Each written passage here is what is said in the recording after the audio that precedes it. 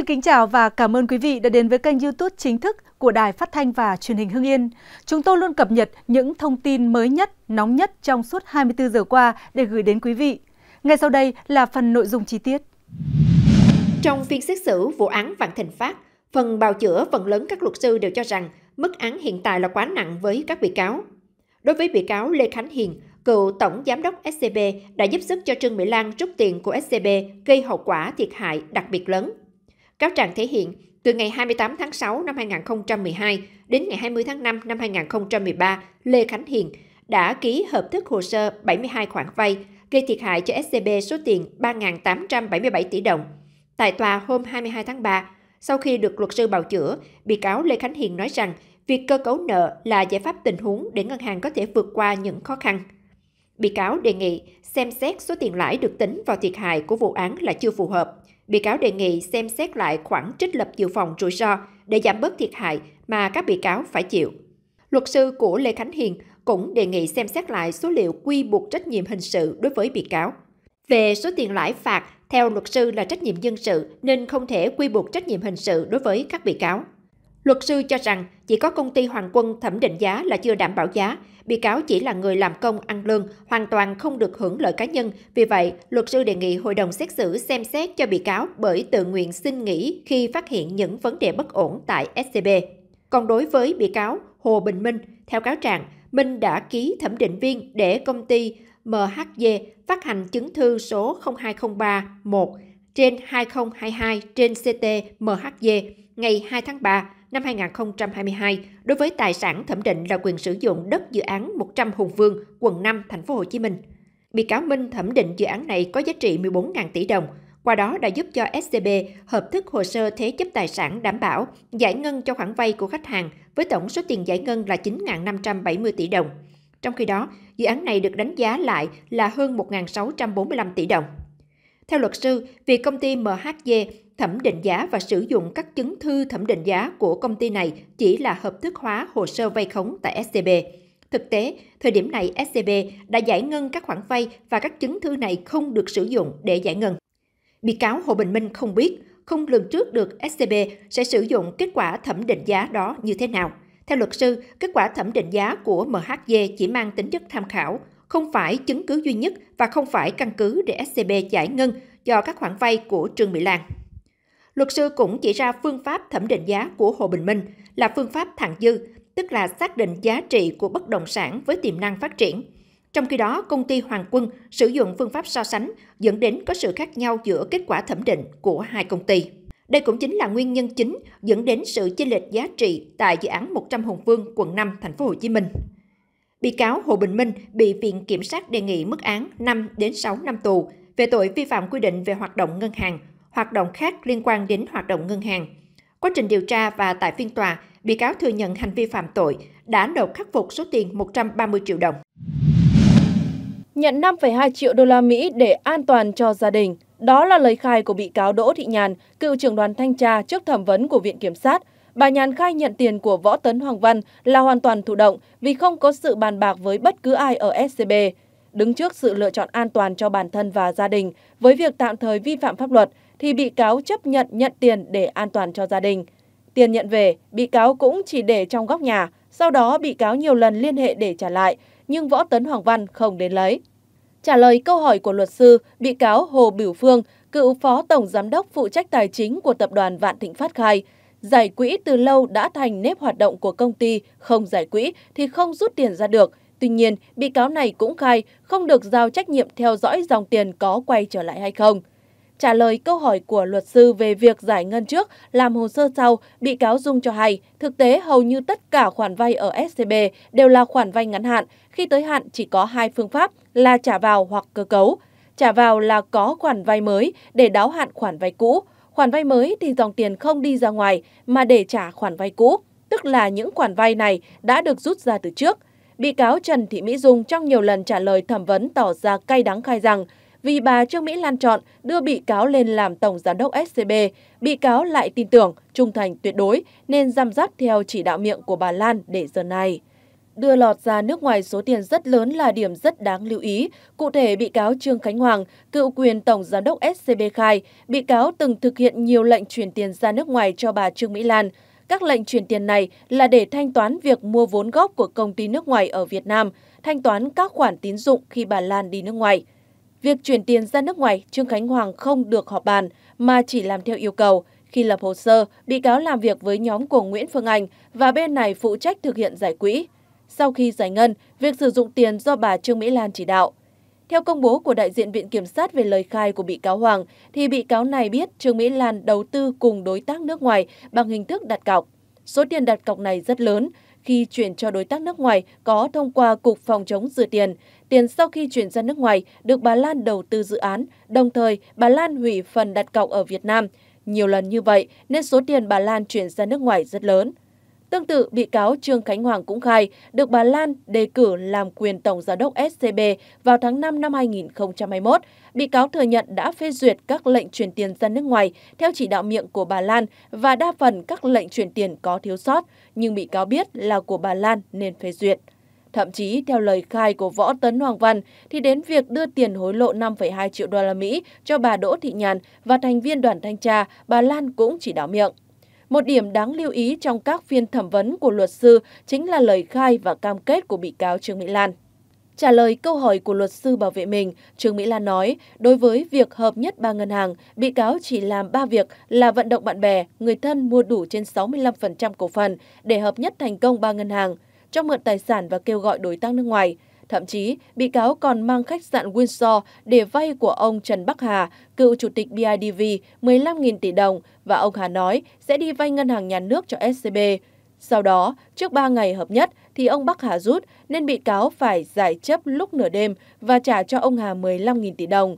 Về cáo buộc thâu tóm cổ phần hơn 91% tại SCB, bị cáo Lan nói cổ phần không phải của bị cáo mà của bạn bè được bị cáo kêu gọi góp sức để giúp cơ cấu SCB khi khó khăn. Bị cáo Trương Mỹ Lan cam kết khắc phục hậu quả bằng việc đồng ý chuyển số tiền 1.000 tỷ đồng do bị cáo Nguyễn Cao Trí, Chủ tịch Hội đồng Quản trị Công ty Văn Lang và Công ty Capella khắc phục đến tài khoản của SCB để giải quyết hậu quả vụ án. Ngoài ra, bị cáo Trương Mỹ Lan còn khai có 13 dự án nằm ngoài danh mục các tài sản bị kê biên trong vụ án và đồng ý dùng các tài sản này để khắc phục. Tuy nhiên, các dự án đó có cả các nhà đầu tư nước ngoài nên đề nghị tạo điều kiện cho bị cáo đàm phán. Bị cáo cho biết thêm rằng con gái của mình cũng đang giao bán tòa nhà ở Hà Nội trị giá 1 tỷ đô la Mỹ để khắc phục hậu quả. Trong phiên tòa xét xử sơ thẩm vụ án xảy ra tại công ty cổ phần tập đoàn Vạn Thịnh Phát, Ngân hàng Thương mại Cổ phần Sài Gòn SCB và các công ty đơn vị tổ chức liên quan. Tại tòa, hội đồng xét xử dành phần lớn thời gian cho các luật sư bào chữa của nhóm bị cáo giúp Trương Mỹ Lan, cựu chủ tịch hội đồng quản trị công ty cổ phần tập đoàn Vạn Thịnh Phát, quản lý thu chi tiền được rút ra từ ngân hàng SCB. Lên phương án phối hợp giải quỹ các khoản vay được SCB giải ngân, bào chữa cho bị cáo Hồ Bửu Phương, cựu chủ tịch hội đồng quản trị công ty cổ phần chứng khoán Tân Việt. Luật sư lập luận bị cáo Hồ Bửu Phương không tham gia xuyên suốt trong quá trình giải ngân, chiếm đoạt tài sản từ SCB của Trương Mỹ Lan, mà chỉ là một mắt xích nhỏ trong đường dây rút tiền. Trương Mỹ Lan là người chỉ đạo tất cả chuỗi giải quỹ rút tiền, người lên danh sách các khoản vay khống là bị cáo Nguyễn Phương Anh, cựu phó tổng giám đốc công ty Sài Gòn Peninsula, sau đó chuyển sang bộ phận khác thực hiện hành vi giải quỹ. Vai trò của Hồ Bửu Phương chỉ dừng lại ở việc áp đơn giá cổ phần chuyển nhượng sau khi tiền đã được giải ngân về cho công ty vay. Khi bào chữa cho bị cáo Diệp Bảo Châu, Phó Tổng Giám đốc SCB, luật sư Trần Minh Hải đề nghị hội đồng xét xử xác định lại cách tính hậu quả của vụ án để có lợi nhất cho thân chủ cũng như các bị cáo khác. Theo phương pháp, dư nợ trừ đi giá trị tài sản đảm bảo của mỗi khoản vay. Ngoài ra, luật sư Trần Minh Hải cho biết, sau khi nghiên cứu kỹ các tài liệu trong hồ sơ vụ án, thực tế bị cáo Trương Mỹ Lan có tới 1.186 tài sản, đảm bảo cho 1.284 khoản vay, tức số mã tài sản đảm bảo hơn như cáo trạng xác định. 1.166 tài sản và tổng tài sản bị loại bỏ ra khỏi danh sách mục tài sản khấu trừ thiệt hại là 666 tài sản do công ty thẩm định giá Hoàng Quân từ chối thẩm định. Theo luật sư Hải, 666 tài sản này dù bị từ chối với lý do gì thì vẫn đang là tài sản thực và là tài sản hợp pháp của bị cáo Trương Mỹ Lan. SCB đang quản lý chưa từng giải chấp các tài sản này hoặc trả lại tài sản cho chủ tài sản. Vì vậy, luật sư đề nghị hội đồng xét xử xem xét giá trị 666 tài sản này đang bị loại bỏ khỏi danh mục tài sản đảm bảo được khấu trừ thiệt hại. Tại tòa, hội đồng xét xử dành phần lớn thời gian cho các luật sư bảo chữa của nhóm bị cáo giúp Trương Mỹ Lan, cựu chủ tịch hội đồng quản trị công ty cổ phần tập đoàn Vạn Thịnh Phát, quản lý thu, chi tiền được rút ra từ ngân hàng SCB, lên phương án phối hợp giải quỹ các khoản vay được SCB giải ngân. Bào chữa cho bị cáo Hồ Bửu Phương, theo luật sư, trong nhóm bị cáo phạm tội tham ô tài sản, bị cáo Hồ Bửu Phương có vai trò hạn chế trong vụ án cũng như hoạt động tại hệ sinh thái Vạn Thịnh Phát, không biết tập đoàn Vạn Thịnh Phát sử dụng số tiền vay từ SCB vào mục đích gì. Luật sư lập luận, bị cáo Hồ Bửu Phương không tham gia xuyên suốt trong quá trình giải ngân, chiếm đoạt tài sản từ SCB của Trương Mỹ Lan mà chỉ là một mắt xích nhỏ trong đường dây rút tiền. Theo đó, Trương Mỹ Lan là người chỉ đạo tất cả chuỗi giải quỹ rút tiền. Người lên danh sách các khoản vay khống là bị cáo Nguyễn Phương Anh, cựu phó tổng giám đốc công ty Sài Gòn Peninsula, sau đó chuyển sang bộ phận khác thực hiện hành vi giải quỹ. Vai trò của Hồ Bửu Phương chỉ dừng lại ở việc áp đơn giá cổ phần chuyển nhượng sau khi tiền đã được giải ngân về cho công ty vay. Luật sư cho rằng Hồ Bửu Phương thực hiện các hành vi đều là làm theo chỉ đạo và không được hứa hẹn hưởng bất kỳ lợi ích nào ngoài lương thưởng theo hợp đồng lao động. Luật sư bảo chữa cho bị cáo Hồ Bửu Phương nói, Tôi xin lỗi chị Trương Mỹ Lan vì chị là người chỉ đạo tất cả các chuỗi giải quỹ rút tiền ra.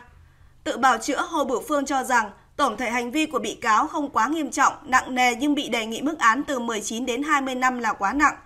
Hồ Bửu Phương xin hội đồng xét xử cân nhắc cho bị cáo được hưởng sự khoan hồng của pháp luật. Bào chữa cho Trần Thị Mỹ Dung, cựu phó tổng giám đốc ngân hàng SCB, luật sư cho rằng bị cáo Dung thực hiện hành vi phạm tội theo sự chỉ đạo của Trương Mỹ Lan mà không được hưởng bất kỳ lợi ích vật chất nào. Hành vi của bị cáo Dung là thẩm định tài sản, hoàn thiện hồ sơ vay từ ngân hàng SCB theo chỉ đạo của Trương Mỹ Lan để xử lý các khoản vay đến hạn của Lan có từ năm 2012 hay còn gọi là đảo nợ, không có các khoản vay mới. Luật sư cũng lập luận hành vi đảo nợ tại ngân hàng SCB không bắt nguồn từ bị cáo Dung mà diễn ra trong nhiều năm trước khi bị cáo được bổ nhiệm làm phó tổng giám đốc ngân hàng SCB, phụ trách phê duyệt tín dụng và xử lý nợ. Bị cáo chỉ tiếp nối hành vi của người tiền nhiệm chức vụ trước mình, dẫn đến việc phạm tội. Một nguyên nhân khác là do Dung quá tin tưởng vào Trương Mỹ Lan thực hiện tất cả mọi mệnh lệnh được giao cho với niềm tin rằng Lan sẽ giúp ngân hàng SCB vực dậy trước khó khăn. Tự bào chữa, Trần Thị Mỹ Dung khẳng định mọi hành vi thực hiện đều theo sự chỉ đạo của Trương Mỹ Lan.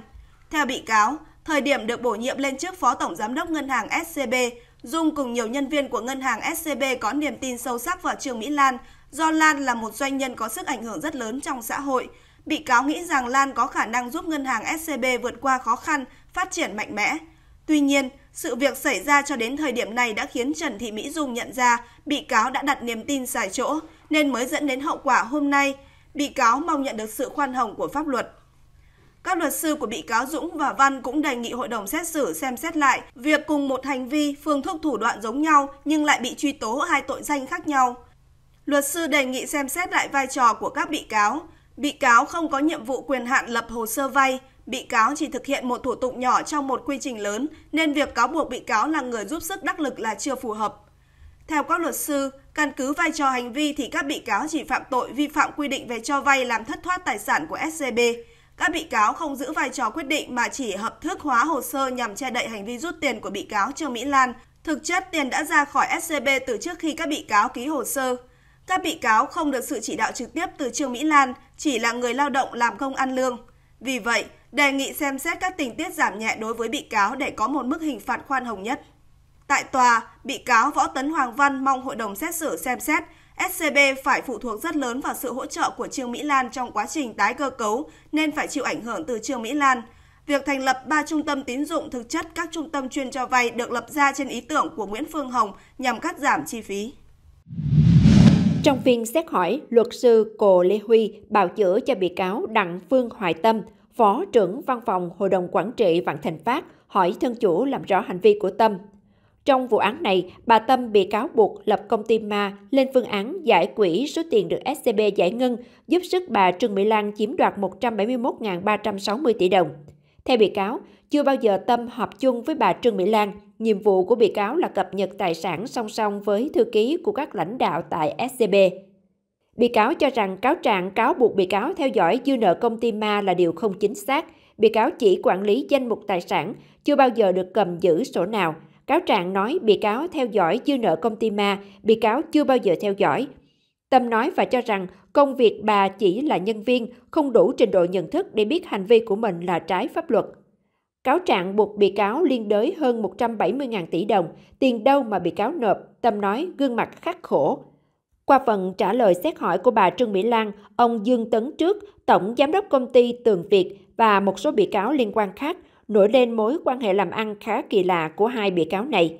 Theo cáo trạng, do có quen biết từ trước nên khoảng tháng 4 năm 2021, bà Lan và ông Trương Khánh Hoàng trao đổi thỏa thuận với ông Dương Tấn Trước về việc sẽ chuyển nhượng dự án Thanh Yến cho ông Trước và công ty Tường Việt với giá 2.500 tỷ đồng.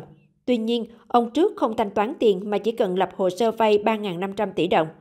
Trong đó 2.500 tỷ đồng là mua dự án Thanh Yến, 1.000 tỷ đồng còn lại để bà Lan sử dụng và có trách nhiệm trả ngân hàng SCB.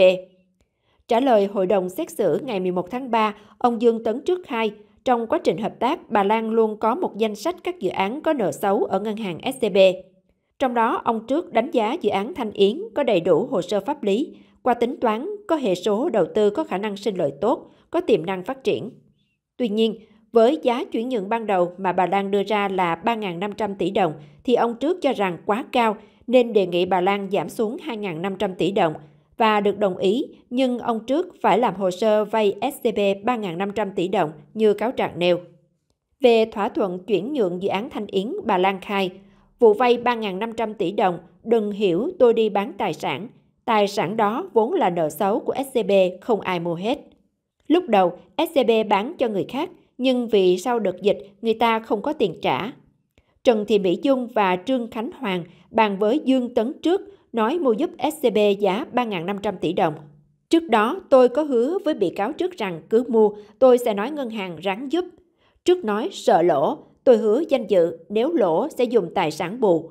Tuy nhiên, cũng theo ông Dương Tấn Trước khai tại tòa, sau khi 3.500 tỷ đồng được SCB giải ngân, bà Lan lại nói ông trước tập trung lo pháp lý để dự án Thanh Yến cho Trương Huệ Vân và công ty Vivaland thực hiện, đổi lại công ty Tường Việt sẽ được làm tổng thầu cung cấp trang thiết bị cho dự án. Về việc này, bị cáo Trương Huệ Vân khai tiếp nhận dự án Thanh Yến theo chỉ đạo của bà Lan, còn thỏa thuận giữa bà Lan và ông trước như thế nào thì Vân không biết. Trong khi đó, bị cáo Dung xác nhận lời khai của ông trước là đúng. Đến nay, bà Lan vẫn chưa thực hiện việc trả 1.000 tỷ đồng cho SCB nên khoản vay trên vẫn còn dư nợ gốc là 3.500 tỷ đồng, nợ lãi là gần 590 tỷ đồng. Theo lời khai của Dương Tấn trước, bà Lan luôn có một danh sách các dự án bất động sản đang thế chấp ngân hàng. Sau khi xem danh sách, nhận thấy chỉ có dự án Thanh Yến có đầy đủ hồ sơ pháp lý, có tiềm năng phát triển, nên ông trước thỏa thuận với bà Trương Mỹ Lan giá chuyển nhượng là 2.500 tỷ đồng. Bà Lan đề nghị ông trước không cần thanh toán tiền ngay mà chỉ cần lập hồ sơ vay SCB 3.500 tỷ đồng, trong đó 2.500 tỷ đồng là tiền nhận chuyển nhượng dự án Thanh Yến, 1.000 tỷ đồng để bà Lan sử dụng vào mục đích riêng. Bà Lan có trách nhiệm thanh toán toàn bộ gốc và lãi đối với số tiền 1.000 tỷ đồng này. Chính vì tin tưởng vào lời cam kết uy tín của bà Lan và thực sự mong muốn được nhận chuyển nhượng dự án để phát triển, nên ông trước mới đồng ý việc lập hồ sơ vay vốn tại SCB. Luật sư nhấn mạnh, ông trước không được hưởng lợi ích gì từ khoản vay 3.500 tỷ đồng nói trên vì bà Lan không thực hiện theo như cam kết ban đầu, không chuyển nhượng dự án cho ông trước và nhóm công ty Tường Việt. Quá trình thực hiện khoản vay 3.500 tỷ đồng, ông trước đều bị động, dù có quan hệ đối tác, nhưng đây là mối quan hệ không cân xứng. Mọi vấn đề đều làm theo chủ ý quyết định của bà Trương Mỹ Lan, luật sư nói. Luật sư cho biết công ty của bị cáo trước chuyên thi công các dự án bất động sản. Bị cáo có niềm đam mê trong lĩnh vực này nên nắm rõ các vấn đề về pháp lý. Quá trình thi công các dự án cho chủ tịch tập đoàn Vạn Thịnh Phát, bị cáo giúp bà Lan gỡ được các nút thắt về pháp lý cho những dự án lớn hàng chục, hàng trăm nghìn tỷ. Với một người hào sản như bà Lan thì việc bà cho bị cáo trước 1.500 tỷ đồng là điều dễ hiểu, như bà Lan đã từng cho rất nhiều người khác, luật sư nói về việc bà Lan sử dụng tiền rút từ SCB để cho trước. Luật sư cho rằng cũng như rất nhiều những khoản vay khác mà bà Lan từng rút từ SCB ra để sử dụng vào mục đích cá nhân. Việc này là sai phạm, có hệ thống từ trước tại SCB mà bản thân bị cáo trước không thể tác động được gì. Trong phần tự bào chữa, Dương Tấn Trước, 41 tuổi, Tổng Giám đốc Công ty Trách nhiệm hữu hạn Thương mại và Sản xuất Tường Việt, Công ty Tường Việt cho biết đồng ý với nội dung luật sư bào chữa vì đã nói đúng bản chất tinh thần của mình. Ông Dương Tấn Trước nói, trách nhiệm khắc phục của ông còn khoảng 600 tỷ đồng nhưng các tài sản bị phong tỏa có giá trị hơn 2.000 tỷ đồng nên xin hội đồng xét xử ghi nhận mình khắc phục 100% thiệt hại. Bào chữa cho bị cáo Trương Khánh Hoàng, cựu quyền tổng giám đốc SCB, luật sư nói rằng dù có chức vụ ở SCB nhưng thực chất chỉ là người làm công ăn lương, không hưởng bất cứ lợi ích vật chất gì nếu không thực hiện theo chỉ đạo sẽ dễ dàng bị thay thế. Mặc dù đang là quyền tổng giám đốc, được hưởng mức lương 500 triệu đồng một tháng, nhưng nhận thức thấy công việc không phù hợp với quy định pháp luật nên Hoàng đã xin nghỉ việc. Tương tự, luật sư của bị cáo Bùi Anh Dũng, cựu chủ tịch Hội đồng Quản trị SCB cho rằng, bị cáo Dũng chỉ làm công ăn lương. Bùi Anh Dũng được Đinh Văn Thành, cựu chủ tịch SCB đã bỏ trốn, tiến cử với Trương Mỹ Lan vì là người hiền lành, không quậy phá. Bị cáo Bùi Anh Dũng chỉ là người thực hiện tiếp công việc của người tiền nhiệm. Thiệt hại của Dũng gây ra rất thấp so với các bị cáo có vai trò chủ chốt trong SCB. Bị cáo Bùi Anh Dũng là người duy nhất trong vụ án ra tự thú tích cực hợp tác với cơ quan tố tụng, chủ động từ khai số tiền 40 tỷ đồng được Trương Mỹ Lan cho, vì thế luật sư đề nghị hội đồng xét xử có một mức án nhẹ cho bị cáo. Bào chữa cho bị cáo Võ Tấn Hoàng Văn, cựu tổng giám đốc SCB, luật sư đề nghị hội đồng xét xử xem xét bối cảnh bị cáo phạm tội trong môi trường đặc biệt, ngân hàng nhà nước đang tái cơ cấu. Từ bào chữa, bị cáo Võ Tấn Hoàng Văn bổ sung rằng SCB đã bị hút vào vòng xoáy của bị cáo Lan để tái cơ cấu trả nợ, khiến SCB bị phụ thuộc hoàn toàn vào Trương Mỹ Lan. Bị cáo Võ Tấn Hoàng Văn không đồng tình với luận tội của Viện Kiểm sát về việc các bị cáo phạm tội nhiều lần vì bản chất ngành ngân hàng thì chỉ lặp đi lặp lại hai dịch vụ là huy động và cho vay, nên chuyện lặp lại hành vi là điều bình thường, đây là đặc thù ngành tài chính. Với nhận định của Viện Kiểm sát rằng bị cáo có trình độ có hiểu biết mà vẫn vi phạm pháp luật, bị cáo Võ Tấn Hoàng Văn cũng không đồng tình vì có trình độ đại học mới làm được ngành này nên Viện Kiểm sát quy kết bị cáo là lợi dụng có trình độ là chưa phù hợp. Tại phiên tòa xét xử vụ án Vạn Thịnh Phát, bào chữa cho bị cáo Trương Huệ Vân, luật sư nói không tranh luận về tội danh, song cho rằng mức án đề nghị với nữ bị cáo này là quá nghiêm khắc, đề nghị hội đồng xét xử xem xét lại mức án đối với bị cáo Vân. Theo luật sư, cần phân hóa rõ hơn vai trò, trách nhiệm của bị cáo, bị cáo Vân không làm việc trực tiếp với SCB nên không thể biết rõ các sai phạm liên quan và bị cáo Vân hoàn toàn tin tưởng vào bị cáo Trương Mỹ Lan, chủ tịch tập đoàn Vạn Thịnh Phát.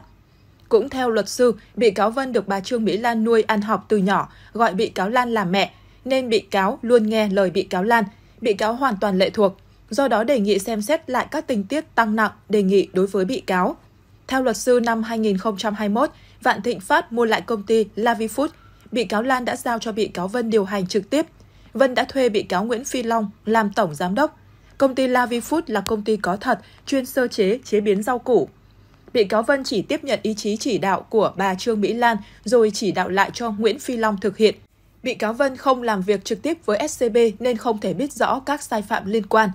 Luật sư đề nghị hội đồng xét xử xem xét lại các tình tiết tăng nặng đối với bị cáo, bị cáo Vân đã tích cực hợp tác với cơ quan điều tra, tham gia nhiều hoạt động xã hội.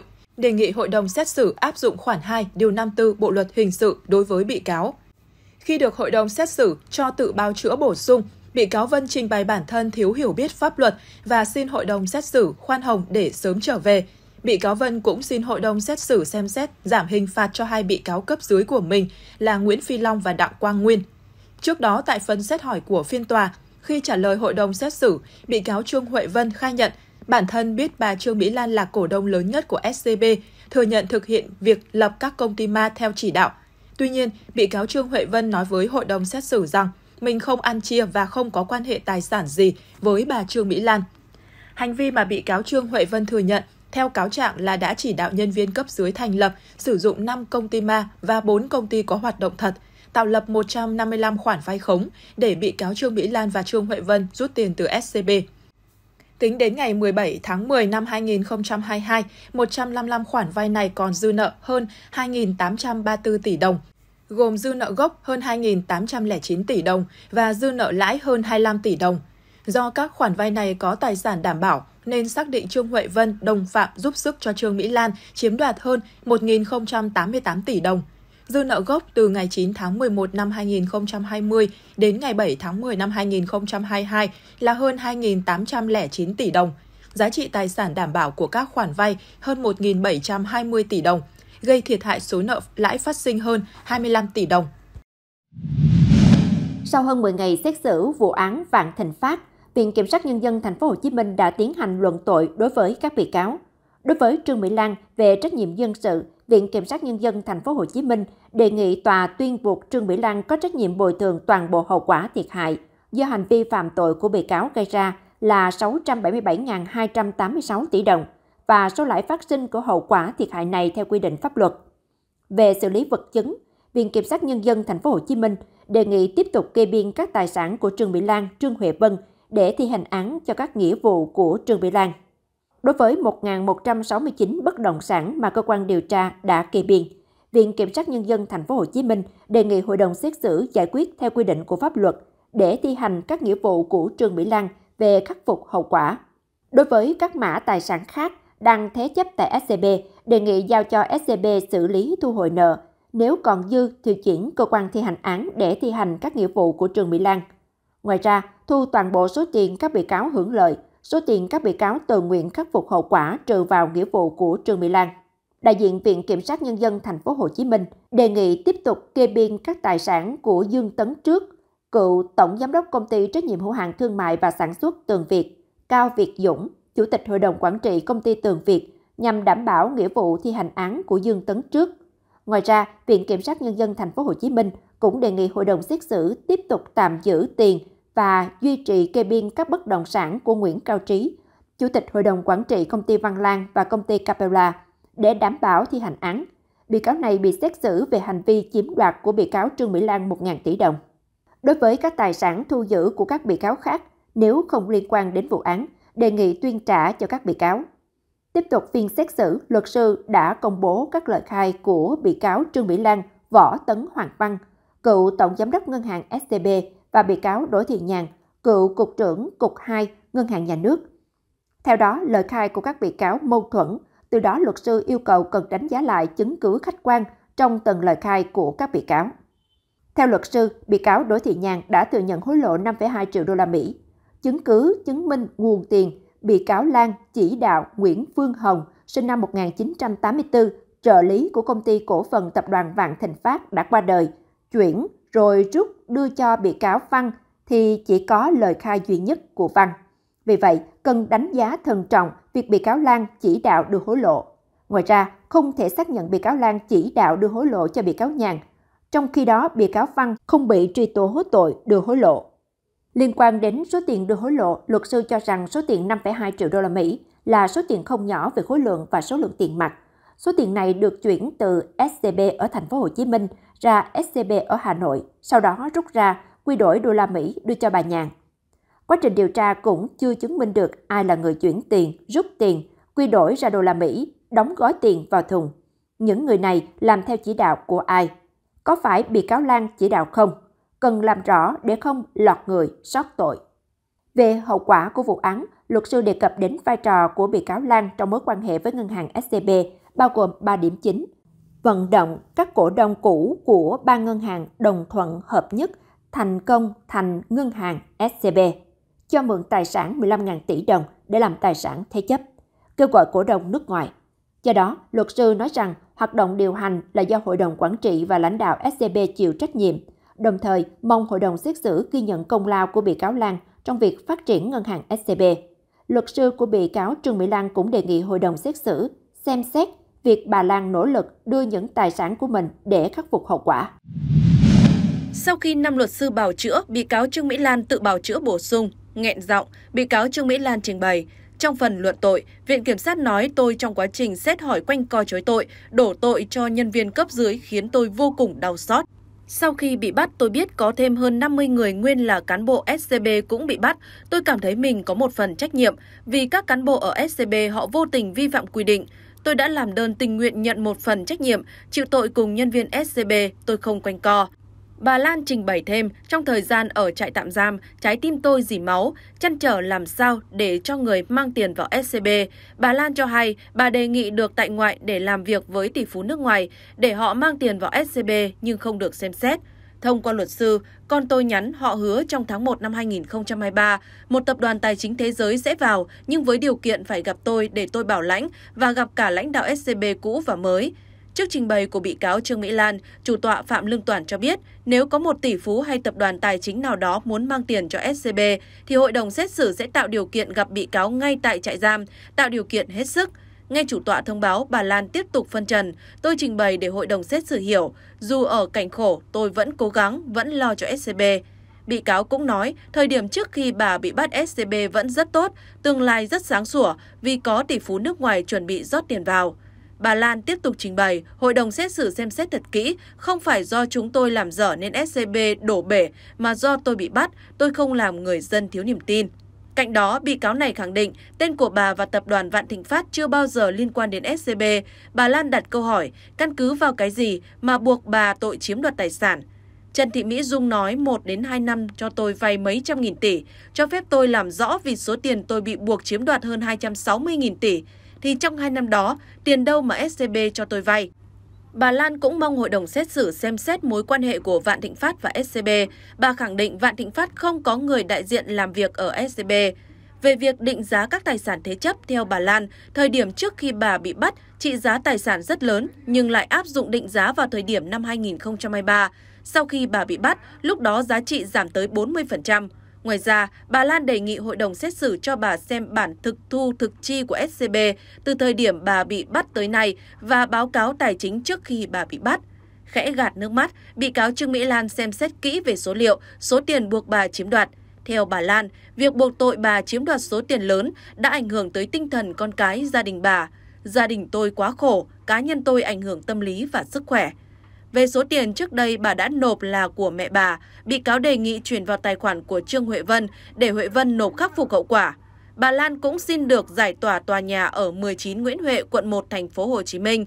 Theo bà Lan, đây là căn nhà mà mẹ bà mua cho con gái bà, sau này cho SCB thuê lại để lấy tiền trùng tu căn nhà cổ ở 112 Võ Văn Tần, quận 3, thành phố Hồ Chí Minh.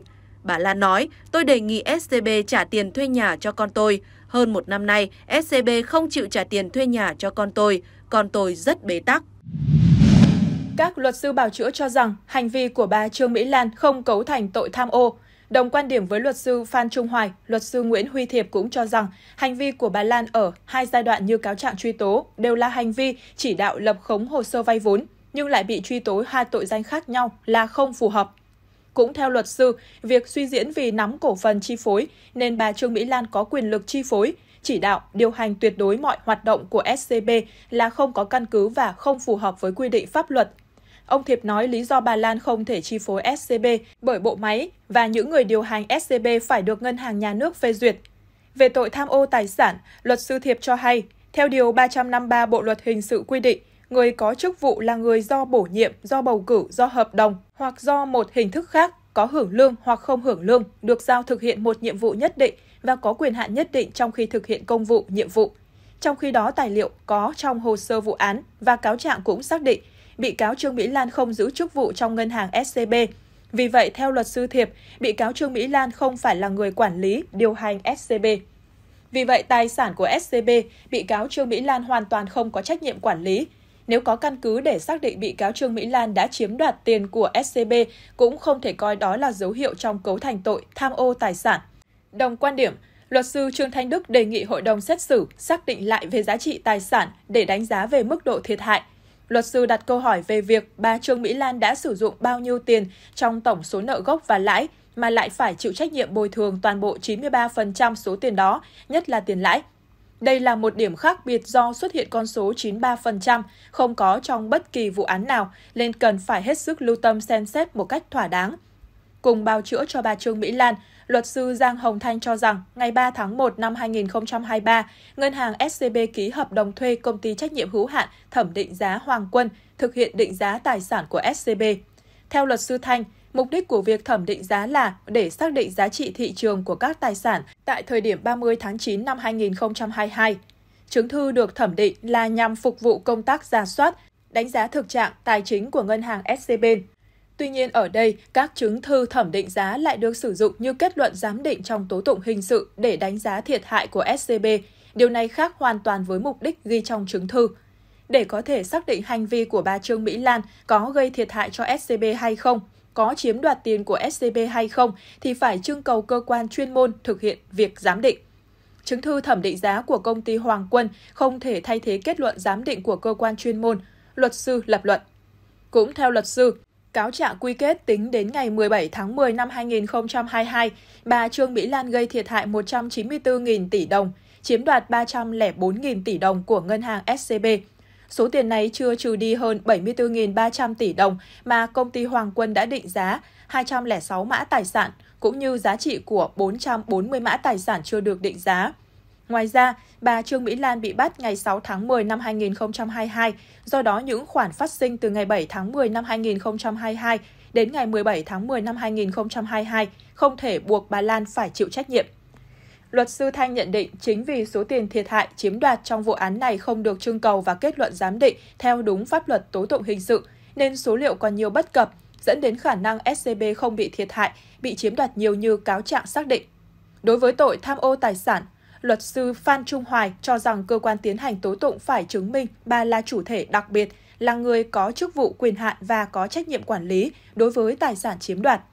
Về số tiền bị cáo buộc chiếm đoạt của SCB, luật sư Hoài nêu căn cứ vào lời khai của bà Lan về nguồn tiền các dự án mà SCB đã mượn của gia đình bà Lan và bạn bè đi cơ cấu, nợ trước và trả chậm sau. Cũng theo luật sư Hoài, bà Lan đã phải trả thay cho SCB để giữ uy tín cho bản thân. Hiện bà Lan vẫn còn nợ rất nhiều mà tất cả các dự án thì SCB quản lý hết, cho nên khoản tiền gần 109.000 tỷ đồng và 14,7 triệu đô la Mỹ mà Bùi Văn Dũng, tài xế của bà Lan vận chuyển từ SCB về 127 Pasteur, thực chất là tiền của bà Lan rút ra để thay SCB trả nợ cho các dự án bất động sản và cổ phần mà SCB đã mượn trước đó.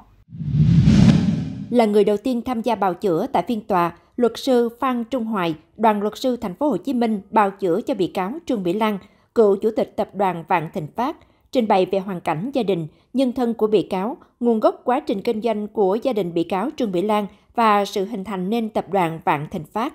Về hệ sinh thái của tập đoàn Vạn Thịnh Phát, theo luật sư Phan Trung Hoài, chỉ bao gồm một số công ty nhất định, số lượng 1.000 công ty được cho rằng trong hệ sinh thái Vạn Thịnh Phát thì cần xem xét thỏa đáng hơn.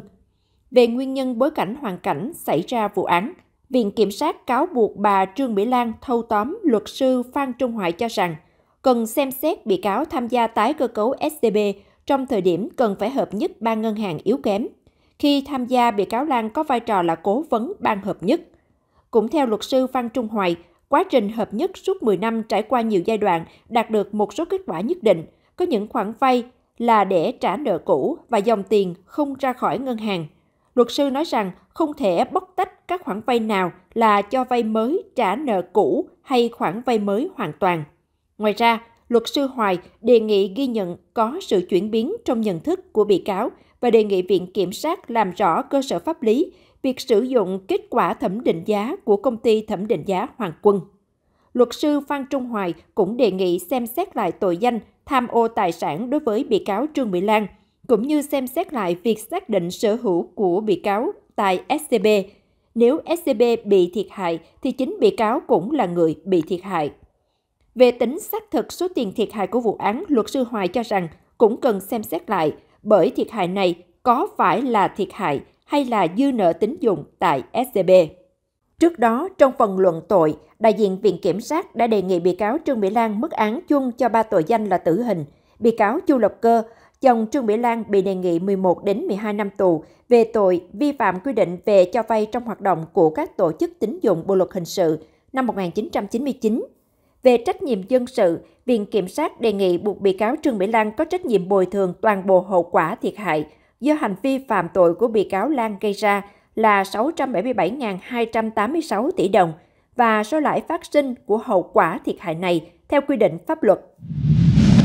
Tại tòa, Viện Kiểm sát đề nghị mức án tử hình đối với bị cáo Trương Mỹ Lan, cựu Chủ tịch Hội đồng Quản trị Tập đoàn Vạn Thịnh Phát về hành vi đưa hối lộ, tham mô tài sản và vi phạm quy định về cho vay trong hoạt động của các tổ chức tín dụng.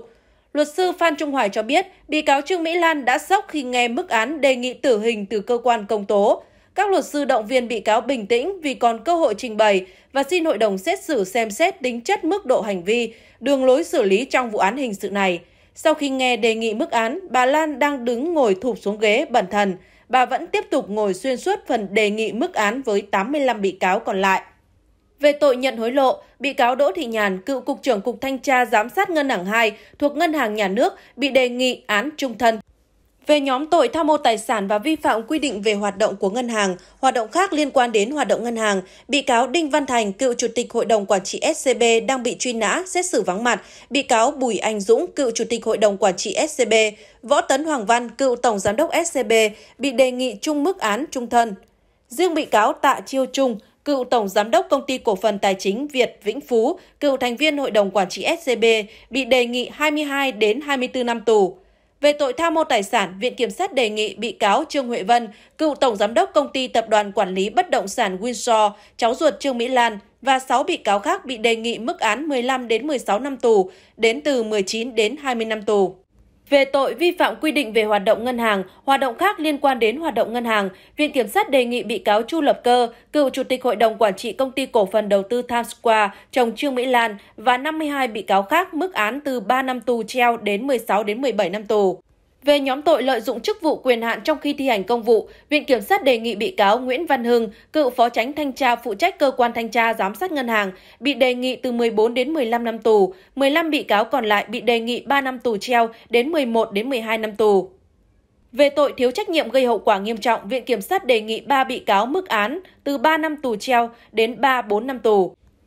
Ngoài ra, Viện Kiểm sát đề nghị Nguyễn Cao Trí, cựu Chủ tịch Tập đoàn Canpella, tội lạm dụng tín nhiệm chiếm đoạt tài sản với mức án 10 đến 11 năm tù. Trong tổng số 86 bị cáo, Viện Kiểm sát xác định các bị cáo đều là người có trình độ, nhận thức, đầy đủ năng lực, có khả năng nhận thức, hành vi các bị cáo gây thất thoát đặc biệt lớn về kinh tế, tạo dư luận xấu trong xã hội, dư luận xấu với quốc tế nên phải xử lý nghiêm mới đủ sức gian đe. Về trách nhiệm dân sự, Viện Kiểm sát đề nghị bị cáo Trương Mỹ Lan phải bồi thường toàn bộ thiệt hại cho ngân hàng SCB. Đối với Nguyễn Cao Trí, Viện Kiểm sát đề nghị tạm giữ tiền, kê biên bất động sản của Trí để đảm bảo thi hành án, tiếp tục kê biên tài sản của Trương Mỹ Lan, Trương Huệ Vân để đảm bảo nghĩa vụ thi hành án. Với 1.169 bất động sản, Viện Kiểm sát đề nghị hội đồng xét xử giải quyết theo quy định pháp luật các mã tài sản đang thế chấp tại SCB, giao cho SCB thu hồi nợ, cơ quan công tố đề nghị tịch thu toàn bộ số tiền các bị cáo hưởng lợi, tự nguyện khắc phục thiệt hại, trừ vào nghĩa vụ của bị cáo Trương Mỹ Lan. Trong phần thẩm vấn làm rõ các vấn đề dân sự trong vụ án Trương Mỹ Lan, 68 tuổi, Chủ tịch Hội đồng Quản trị Tập đoàn Vạn Thịnh Phát và đồng phạm, phiên tòa chủ yếu tập trung làm rõ các tài sản của bị cáo Trương Mỹ Lan, Thứ nhất, đối với căn biệt thự cổ tại 112 Võ Văn Tần, quận 3 thành phố Hồ Chí Minh, bị cáo khai trước đây mua với giá 700 tỷ đồng. Hiện căn biệt thự cổ này đang bị kê biên. Tuy nhiên, bị cáo Trương Mỹ Lan đề nghị không kê biên và xin tòa trả lại cho gia đình để sửa chữa, bảo tồn di tích cho Việt Nam. Thứ hai, đối với tòa nhà Capital Place ở Hà Nội, bị cáo Trương Mỹ Lan từng khai có thể bán 1 tỷ đô la Mỹ. Tuy nhiên, theo chủ tọa, con gái Chu Diệp Phấn của bị cáo Lan có văn bản gửi tòa trình bày đang có người trả 360 triệu đô la Mỹ. Thế nhưng, tòa nhà này đang thế chấp vay của 4 ngân hàng nước ngoài 230 triệu đô la Mỹ. Do đó, sau khi bán xong, trả nợ cho 4 ngân hàng, số tiền còn lại sẽ được dùng khắc phục hậu quả trong vụ án, cho nên bị cáo nói bán tòa nhà này 1 tỷ đô la Mỹ là không đúng. Thứ ba, công ty Gia Tuệ Lâm Đồng người liên quan trình bày, trước đây có giao kết chuyển nhượng hai dự án ở Hồ Tuyền Lâm cho một công ty của Vạn Thịnh Phát với giá 960 tỷ đồng. Thời điểm đó, phía công ty của Vạn Thịnh Phát mới trả 672 tỷ đồng. Này, công ty Gia Tuệ đề nghị hủy hợp đồng và hoàn trả lại 672 tỷ đồng cho bị cáo Trương Mỹ Lan, tương đương với 6 bất động sản đã được kê biên. Thứ tư, đối với khách sạn Daewoo Hà Nội, Trương Mỹ Lan khai công ty cổ phần bông sen của gia đình bị cáo có 73% cổ phần. Con bị cáo Lan cũng đề nghị bán khách sạn này, sau đó dùng tiền có được khắc phục hậu quả vụ án. Thứ Thứ năm, tương tự với một công ty bảo hiểm của bị cáo Trương Mỹ Lan, cũng được con gái bị cáo gửi văn bản tới tòa cho rằng có đối tác mua lại cổ phần với giá 40 triệu đô la Mỹ, tương đương 920 tỷ đồng. Sau khi bán, tiền này cũng sẽ dùng khắc phục hậu quả. Thứ sáu, đối với tập đoàn nhà máy sản xuất vaccine, Trương Mỹ Lan đầu tư 315 tỷ đồng. Trong văn bản gửi tòa, con gái bị cáo cho biết sẽ chuyển nhượng toàn bộ cho một đối tác khác với giá 315 tỷ đồng để thu hồi khắc phục vụ án.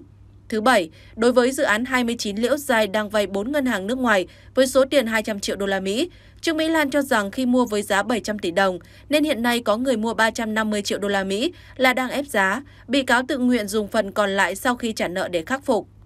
Thứ 8, liên quan đến dự án Tuần Châu tỉnh Quảng Ninh do công ty trách nhiệm hữu hạn Âu Lạc Quảng Ninh và công ty TNH Hạ Long làm chủ đầu tư, Trương Mỹ Lan cho rằng bà Phạm Thị Lan Phương là người phụ trách dự án nên không nhớ gì về dự án này. Công ty Tuần Châu cho SCB mượn tài sản, bị cáo chỉ biết SCB đang cơ cấu liên tục, luôn thiếu tài sản, còn việc cơ cấu thế nào thì không rõ. Việc này có thể dùng cựu Phó Tổng Giám đốc SCB và Hoàng, cựu quyền Tổng Giám đốc SCB biết, bị cáo Trương Mỹ Lan trình bày. Ngược lại, phía bị cáo Trương Khánh Hoàng lại cho rằng hợp tác giữa công ty trách nhiệm hữu hạn Âu Lạc Quảng Ninh, tỉnh Quảng Ninh và Trương Mỹ Lan đã xảy ra từ trước khi Hoàng vào làm. Vì thế, bị cáo không tham gia vào hợp đồng giao dịch này. Cạnh đó, bị cáo Trần Thị Dung cũng khai thỏa thuận giữa công ty TNH Hạ Long và Lan là có từ lâu. Trước khi một người khác làm phó tổng giám đốc SCB, bị cáo chỉ làm theo những gì có sẵn, mọi việc đều theo chỉ đạo của bị cáo Trương Mỹ Lan. Thứ 9, liên quan công ty Thành Hiếu có giao dịch từ trước với ngân hàng SCB cũ, Trương Mỹ Lan cho rằng không dính gì đến Vạn Thịnh Phát, bị cáo chỉ giúp SCB xử lý nợ, mọi việc do bị cáo Trần Thị Mỹ Dung xử lý. Cũng tại tòa, SCB không đồng ý với cáo trạng xác định SCB bị thiệt hại là hơn 498.000 tỷ đồng. Bởi theo SCB, thiệt hại tạm tính đến ngày 5 tháng 3 là hơn 760.000 tỷ đồng, nợ gốc 482.000 tỷ đồng, lãi suất phí hơn 277.000 tỷ đồng mới đúng. Không đồng tình với quan điểm của SCB, bị cáo Trương Mỹ Lan đề nghị hội đồng xét xử xem xét lại. Có rất nhiều tài sản, nhưng cách tính toán của SCB không hợp lý và cơ sở nào để SCB xác định số tiền thiệt hại đó. Tại các phiên tòa xét xử vụ án xảy ra tại Tập đoàn Vạn Thịnh Phát, Ngân hàng Thương mại Cổ phần Sài Gòn STB, nhiều lần bà Trương Mỹ Lan khai được một số người có trách nhiệm ở Ngân hàng Nhà nước vận động tham gia hợp nhất ba ngân hàng thành Ngân hàng STB. Bà Lan cho biết, dù bà đã từ chối nhiều lần nhưng cuối cùng đồng ý vì nghĩ mình chỉ cho mượn tài sản và kêu gọi nhà đầu tư. Đối với đại diện Ngân hàng Nhà nước, luật sư hỏi khi chủ trương hợp nhất ba ngân hàng yếu kém, thì thực trạng tài chính của ngân hàng này như thế nào? Đại diện Ngân hàng Nhà nước trả lời, cả ba ngân hàng đều yếu kém, cần thiết tái cơ cấu. Khi được hỏi, trong đề án tái cơ cấu hợp nhất ba ngân hàng, Ngân hàng Nhà nước có biết đến sự hiện diện của bà Trương Mỹ Lan không? Phía đại diện Ngân hàng Nhà nước đã trả lời là không có thông tin về việc vận động bà Lan sở hữu 65% mà chỉ nhận diện nhóm cổ đông có 65% và bà Lan là người đại diện. Luật sư tiếp tục hỏi, nếu không nắm thông tin về bà Lan, vì sao Ngân hàng Nhà nước mời bà tham gia cuộc họp do Ngân hàng Nhà nước tổ chức? Về việc này, đại diện Ngân hàng Nhà nước giải thích là có mời bà Lan và Ngân hàng SCB họp trong tháng 7 năm 2021 và đầu năm 2022 trên cơ sở tâm thư bà Lan gửi Ngân hàng Nhà nước và Chính phủ. Về nội dung tâm thư, Ngân hàng Nhà nước cho biết sẽ rà soát và cung cấp nếu cần thiết. Trước đó, trong quá trình xét hỏi cá nhân và tổ chức có quyền lợi và nghĩa vụ liên quan, đại diện công ty trách nhiệm hữu hạn thẩm định giá Hoàng Quân cho biết, đơn vị thẩm định giá theo hợp đồng đã ký kết giữa hai bên. Các tài sản mà công ty không thẩm định giá là do các tài sản không đầy đủ tài liệu theo quy định pháp luật nên không định giá. Đại diện công ty trách nhiệm hữu hạn thẩm định giá Hoàng Quân trình bày trước tòa. Các tài sản nào đủ pháp lý, pháp lý rõ thì công ty đã thẩm định đầy đủ. Mục đích thẩm định là nhằm đánh giá thực trạng tài chính của SCB. Công ty thẩm định trên cơ sở khách quan, độc lập, đúng giá thị trường. Về kết quả định giá, do đã thể hiện rõ trong chứng thư nên công ty không có ý kiến gì thêm. Trong khi đó, đại diện ngân hàng SCB trình bày, ngân hàng không có ý kiến gì về kết quả thẩm định giá. Quan điểm của SCB là phải thu hồi tối đa tài sản cho nhà nước. Đại diện ngân hàng nhà nước cho biết, các vấn đề liên quan đến vụ án thì Ngân hàng Nhà nước đã có văn bản trình bày rõ trong hồ sơ, đề nghị các luật sư sử dụng theo quy định. Về một số tài liệu mật thì Ngân hàng Nhà nước đã có văn bản giải mật sẽ cung cấp cho hội đồng xét xử. Trong phiên tòa, chủ tọa cũng thông báo nhắc nhở các luật sư trong quá trình tranh tụng về việc sử dụng các tài liệu mật phải tuân thủ theo đúng các quy định. Trong trường hợp làm trái quy định, làm lộ bí mật nhà nước thì phải chịu trách nhiệm theo quy định pháp luật. Theo hồ sơ, cơ quan điều tra đã kê biên 8 bất động sản của công ty trách nhiệm hữu hạn Âu Lạc Quảng Ninh tại tỉnh Quảng Ninh liên quan đến thỏa thuận hợp tác của bà Trương Mỹ Lan với tập đoàn Tuần Châu Quảng Ninh. Liên quan đến việc này, bà Trương Mỹ Lan cho rằng bà Phạm Thị Lan Phương là người phụ trách dự án làm việc với công ty Tuần Châu. Theo bà Lan, tiền được đưa cho ông Tuyển Tuần Châu, ông Đào Hồng Tuyển trong suốt nhiều năm mà không có giấy tờ gì. Bị cáo khai rằng đã giao dự án này cho Phạm Thị Lan Phương là người phụ trách nên không nhớ gì.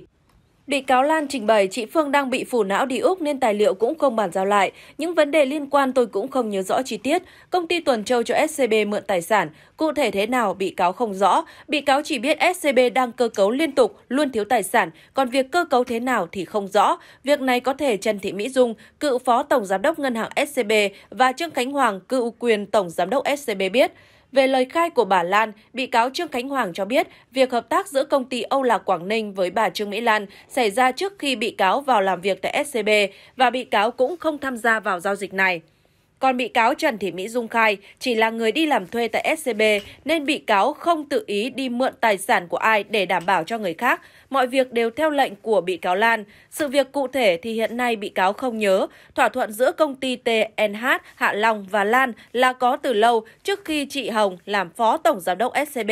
Bị cáo chỉ làm theo những gì có sẵn. Mọi việc đều theo chỉ đạo của bị cáo Lan. Cũng liên quan đến vụ án, Hội đồng xét xử thông báo công ty Thành Hiếu thuộc tập đoàn Phương Trang là chủ đầu tư của ba dự án.